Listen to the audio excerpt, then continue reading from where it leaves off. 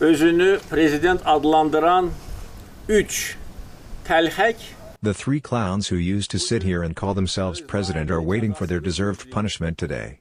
I wonder if the man who used to sit in one of these buildings and call himself prime minister will dare to threaten us again now? His tea is being served in the detention center too now. A separatist who called himself foreign minister sarcastically said that if Azerbaijan wanted to raise its flag in Khankendi, it should open an embassy in our country.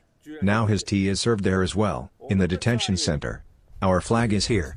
This should be a lesson to them. Unfortunately, the words I said 20 years ago and repeated many times did not register with them. They thought those were just words. No, I do what I say, everyone knows it, including Armenia, and they should not forget it either. Don't forget the patriotic war. Don't forget the anti-terror operation.